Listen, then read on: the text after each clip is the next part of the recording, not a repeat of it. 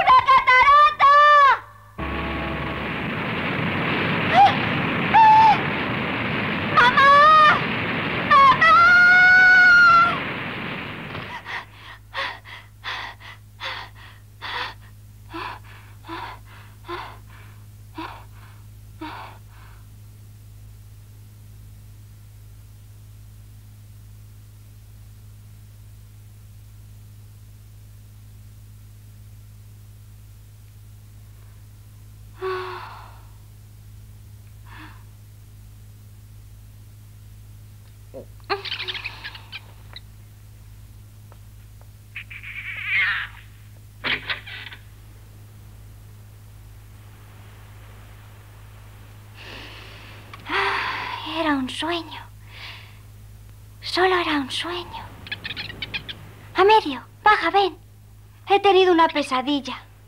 Debe ser porque el barco se está retrasando mucho y estoy muy preocupado. Ya hace un mes que trabajo con el señor Girotti y desde entonces no hemos recibido carta de mamá. ¿Tú crees que se habrá puesto enferma? Pobrecito. Anda, vamos a dormir.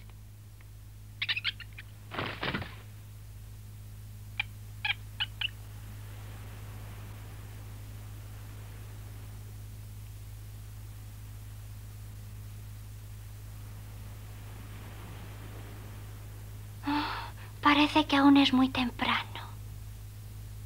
No es un sueño. Es la sirena, seguro. ¿La oyes? Es la sirena medio. Está llegando el barco.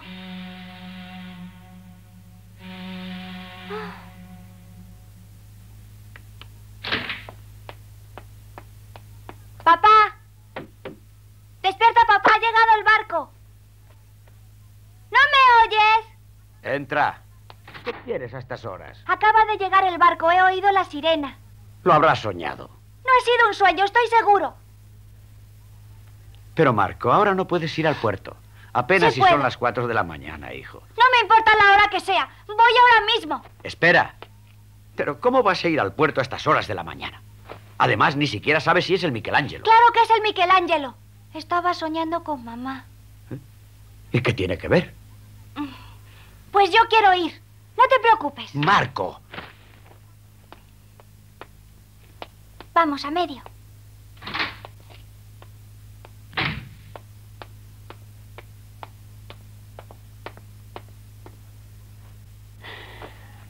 No hay forma de detenerle. Pobre criatura.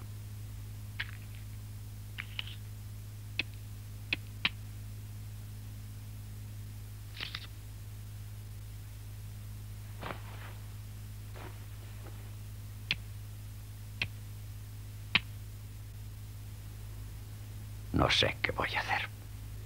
Si no llega el giro de Ana, tendré que pedir dinero para pagar el plazo. Las cosas se ponen difíciles. No habrá más remedio que tomar una resolución.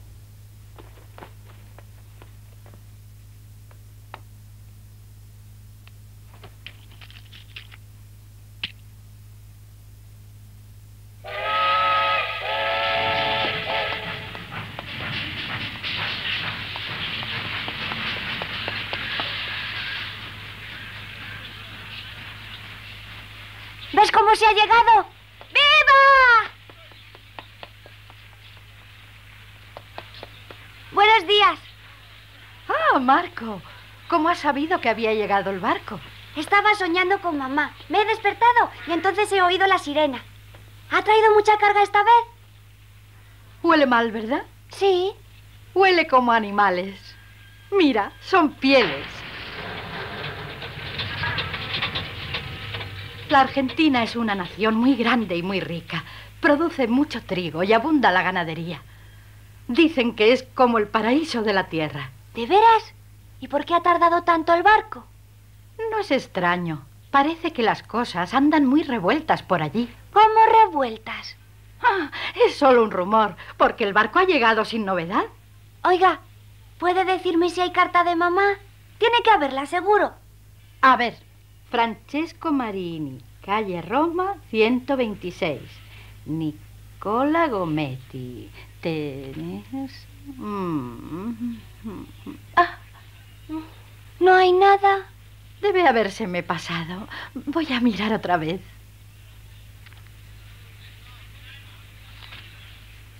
Oh. Calma. ¿No ha llegado? A veces hay omisiones en las listas. Buenos días. Papá, Buenos días. Empieza a trabajar muy temprano, señora. no ha llegado la carta de mamá. ¿Eh? Debe de haber algún error en las listas. Yo sé que tu madre te escribe con regularidad, Marco. Esperen a que lleguen las sacas de la correspondencia a la oficina.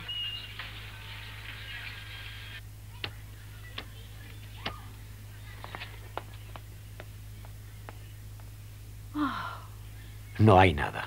Es raro. Escucha, Marco, puede que tu madre haya olvidado echar la carta al correo. Eso ocurre con frecuencia cuando se tiene mucho trabajo. Pero usted ha dicho que las cosas estaban revueltas. ¿Revueltas? Es solo un rumor. Oí un comentario por ahí, eso es todo. Gina, ¿ha reservado mi billete para Milán? Giorgio, recuerda lo que me dijo hace unos cuantos días sobre el retraso del barco. ¿Qué pasa en la Argentina? Parece ser que hay paro. Muchos obreros dejaron el trabajo. ¿Pero hay revueltas? Puede ser. La madre de este niño está en la Argentina. No tienes por qué preocuparte, muchacho.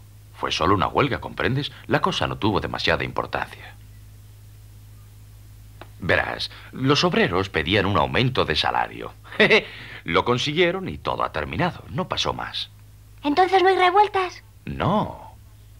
Perdóname, Marco, te he preocupado tontamente. Es posible que la carta de tu madre se haya retrasado a causa de la huelga. Sí, pero ahora tendré que esperar. Hasta dentro de un mes no llegará la carta. Claro, pero ya verás qué rápido pasa el tiempo.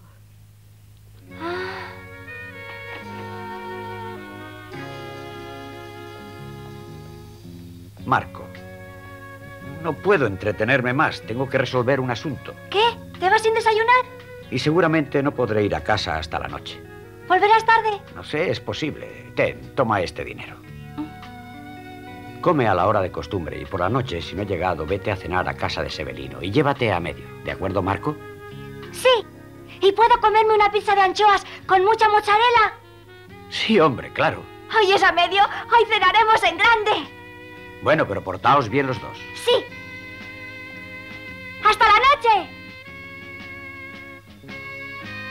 ¡Qué bien! Ya que papá no irá a comer a casa, yo podré trabajar más tiempo. Escucha, medio, tú te quedarás en casa y le diré a Caterina que te prepare una buena comida.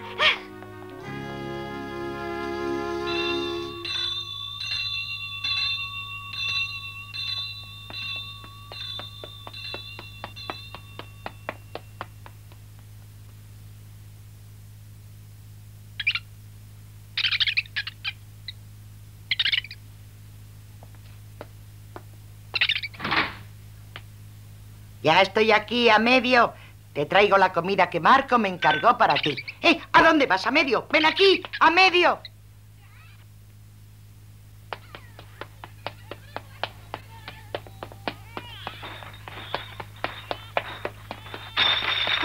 Hola, señor Girati. ¿Qué hay, Marco? Gracias por haber llegado tan pronto. Vengo derecho desde el colegio. ¿Y ya has comido? No, no tengo hambre. Caramba. Pues hay una gran cantidad de pedidos. No sabía cómo arreglármelas solo. Vamos, manos a la obra. Muy bien.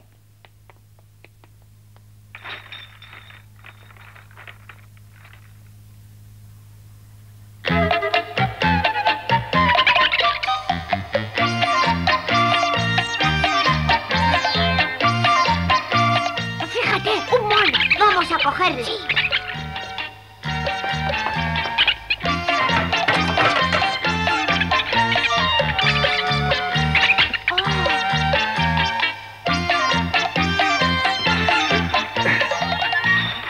¿No sabes qué día es hoy, Marco? Ay, no sé. Mi cumpleaños no, porque ya ha pasado. bueno, pues ya lo sabrás. ¡Ya! ¡Hasta luego! ¡Hasta luego!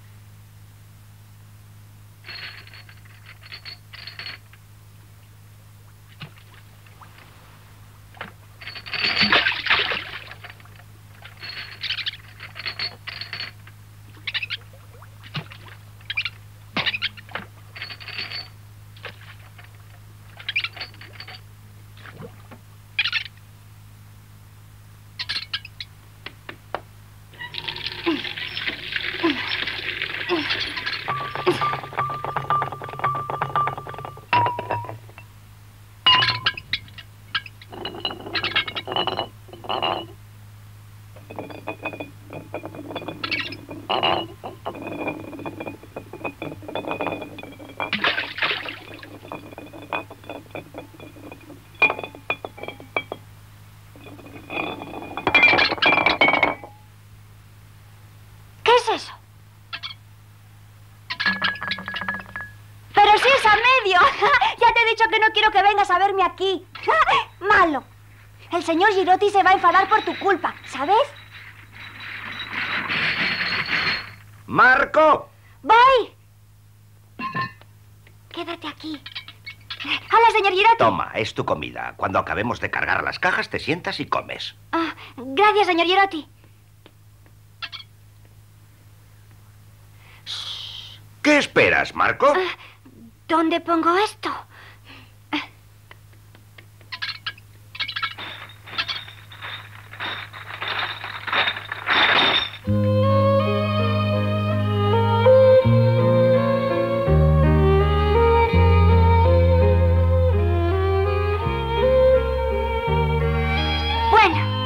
Ah, No, ahora no tengo tiempo de jugar contigo. Cuando termine el trabajo, entonces. ¡Ay! ¡Quieto! ¿Qué haces? ¡Ay! ¡No seas malo! Bueno, pero solo una vez, ¿de acuerdo?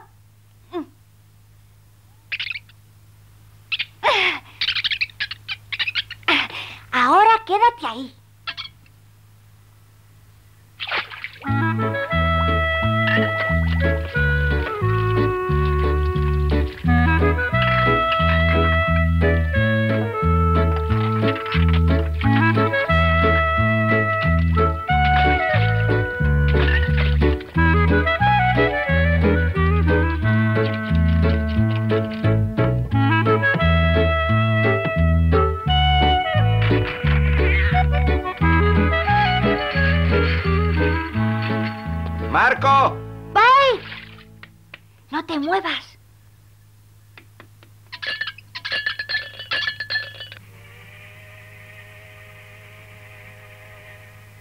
Señor director, eso no es cuenta mía, ¿no cree?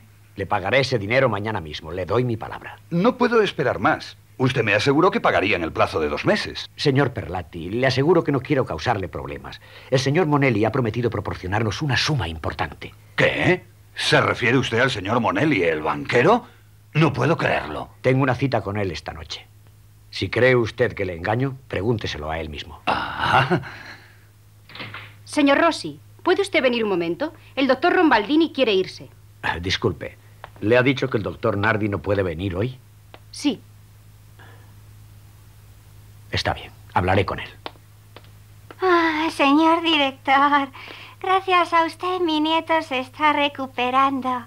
No sé cómo Me agradecer. alegro mucho, señora. Cuídelo bien. ¿Qué hace? mi turno ha terminado, señor Rossi, por lo tanto me voy.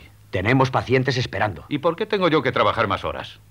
Ahora le toca al doctor Nardi estar aquí. Si no ha venido, dé la consulta por terminada. Como usted sabe muy bien, nuestra clínica atiende a gente modesta que no puede acudir a otros centros médicos. Señor Rossi, créame que lo siento mucho, pero un médico no es una máquina. Encima de que me paga mal, cosa que usted sabe, el trabajo es cada vez mayor y me encuentro exhausto. No puedo continuar así. Acabaría cayendo enfermo yo también. ¿Sabe por qué no ha venido hoy el doctor Nardi? Porque está agotado. ¿Qué dice? La salud es necesaria incluso para los médicos. Lo siento, señor Rossi, ahora me marcho. Vendré mañana por la mañana a la hora de siempre. Y si no quiere... Sí, por favor. Les explicaré a los enfermos lo que ocurre. Lo comprenderán. Sí, usted quiere ayudarlos, pero este servicio no durará mucho. Adiós. Señor director, el señor Monelli acaba de enviar recado diciendo que queda anulada la entrevista de esta noche. No puede ser. Hasta mañana, señor Rossi. ¿Cómo es posible? Le veré esta noche sea como sea.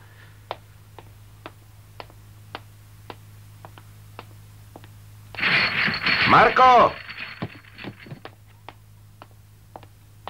Mm, ¿Dónde estás? A medio, ¿por qué te has escapado? ¿A medio? Es de mi hermano. Me echaba de menos y ha venido a verme. ¿Y el trabajo?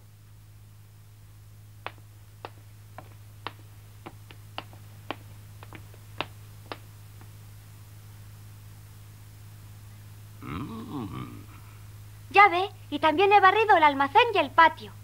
Vaya, qué sorpresa. ¿Estás seguro de que lo has hecho tú solo? Claro, yo solo, señor Girotti. Muy bien, chico. Ahora mismo te pagaré con gusto tu salario. ¿Mi salario? ¡Ay! ¡Es verdad! Ahora me acuerdo de que hoy es mi primer día de cobro.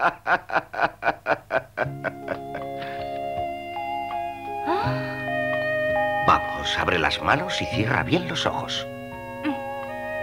Aquí tienes tu salario y una propina como premio por lo mucho que has trabajado.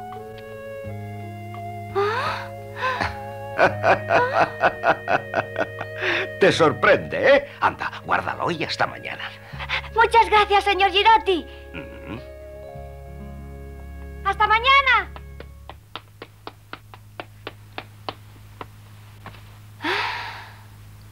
Bueno, la verdad es que no me esperaba tanto.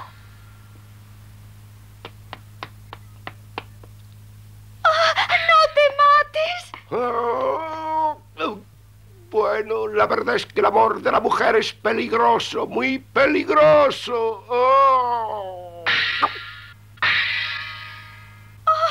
¿Por qué lo has hecho? Las flores de mi pasión se abrirán cada noche sobre tu sepultura, como si fueran lágrimas de dolor y de arrepentimiento. Marco, ¡Tonio! ¿Cuándo has venido? ahora mismo recibí una carta de papá en la que me decía que mañana nos mudamos de casa. ¿Qué? ¿Mudarnos? Sí, dice que ha encontrado un piso muy bueno y más barato. ¿Por qué tenemos que cambiarnos? He vivido en esa casa desde que nací. Papá tiene problemas de dinero. Confiamos plenamente. Además, este piso es demasiado grande para nosotros. Uno más pequeño será mejor. ¡No quiero! ¡No quiero cambiarme de casa! Vosotros todo lo decidís sin contar conmigo para nada. Yo sé que papá lo ha pensado mucho y que también siente dejar la casa. Pero como tú sabes, las cosas van de mal en peor para nosotros. ¡A medio!